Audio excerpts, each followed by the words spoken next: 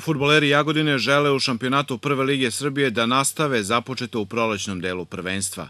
Ekipa je na četiri susreta ostvarila tri pobede i jedan poraz.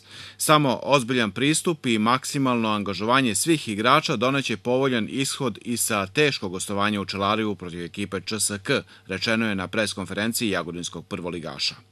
Ono što mene raduje to je, to je taj ambijent, teren koji imam informacije da je dobar i da je u jako dobrom stanju i znači nadam se da će biti svih preduslova da može mi da igramo.